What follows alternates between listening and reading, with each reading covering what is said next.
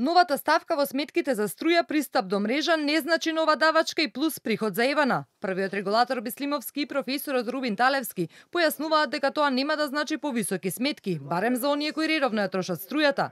Пристапот ќе биде фиксен месечен трошок кој најмногу ќе ги погоди оние со викендици, повеќе станови во кои не живеат, напуштените куќи во планинските места и селениците. Анализите им покажале дека вакви броила има околу 240.000. Образложението е дека тие постојано имаат пристап до мрежата која е скапа за одржување, а не плаќаат ништо за тоа. Па така во сметките ќе има фиксен и варијабилен трошок, кој всушност ќе биде мрежарината која зависи од тоа колку киловати струја сте потрошиле. Колку ќе изнесува оваа давачка се уште не е утврдено, но би се движело околу 50 до 250 денари месечно.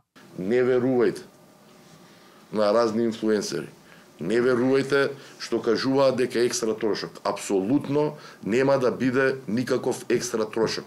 Се ќе биде во рамките на одобрениот приход. Во зависност колку е надоместокот, мрежарината за дистрибуција би се намалила и до 20%. Ама таа колку купно учествува во цената? Мрежарината учествува согласно последната одлука 33% над 20% намалување, тоа е намалување на крајна цена кај редовните потрошувачи за околу повеќе од 8%.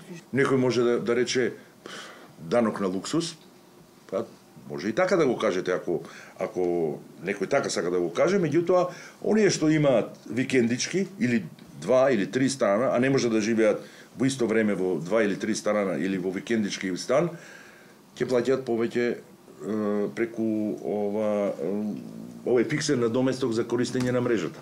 Регулатор на полека ги прибира и барањето од енергетските компании за новата цена на струјата од јануари, но тие се уште не се целосни бидејќи не се завршени тендерите за набавка на загубите во МЕПСО и во електродистрибуција. Според досега познатите факти, доколку се прифатат сите барања, цената на струјата би се зголемила за 27%. Регулаторната комисија за енергетика навлегува во анализи на барањата, дел се во напредна фаза и како ќе ги утврдуваме сите составни елементи за определување на цената. Очекувам дека до крајот на следната недела ќе ги донесеме цените кои што се однесуваат за МЕПСО, за пренос на електрична енергија, за МЕМО за организирање и управување на пазарот и за електродистрибуција. Регулаторите ќе ги одредат цените на енергетските компанија потоа универзалниот снабдувач Евен Хоум ќе ги собере и ќе ја пресмета новата цена на струјата која ќе мора да добие амин од регулаторна.